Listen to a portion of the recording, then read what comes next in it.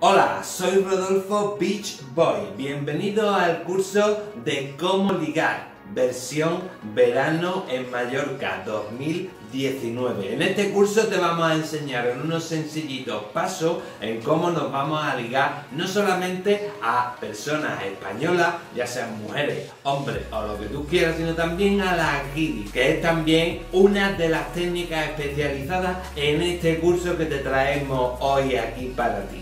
En primer paso, lo primero que tenemos que hacer no es irnos al primar. Al primer nos vamos a colocar esta pedazo de camiseta verano hawaiana, ¿eh? que por 5 pavos, mira, mira cómo está el tío. ¿eh? Así nos mimetizamos con el ambiente playero, que es lo que van buscando las pibitas. ¿eh? Y así pues, vamos a tener más posibilidades de meter lo que tú ya me entiendes. El segundo paso y uno de los más importantes también es que tenemos que dejarnos el pelo largo. Como tú te estás dando cuenta, yo no tengo el pelo largo, pero vamos, que eso está solucionado en un momento.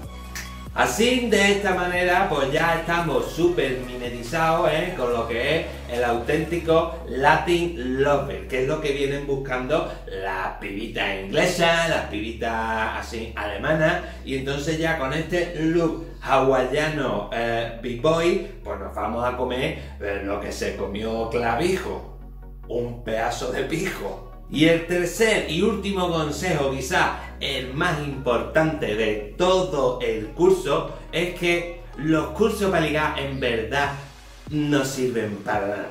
Con esto no te queremos decir que en verdad te estemos engañando. No, no te lo tomes así. A ver, un poquito sí. Pero bueno, tú no te preocupes que con tu dinero yo lo voy a invertir muy bien en comprarme más camisetitas hawaianas. Y una cosa te digo, no me seas tonto, no me seas tonto y no veas estos cursos ni esas tonterías, que en verdad eso no sirve para nada. Lo único que tú tienes que hacer para ligar es ser tú mismo, ¿eh? sé tú mismo, sé un poquito simpático, un poquito gracioso y llevarte a las pibas de aquí para allá, de allá para acá, quitarle una copita, salir para arriba, salir para abajo y lucirte un poquito.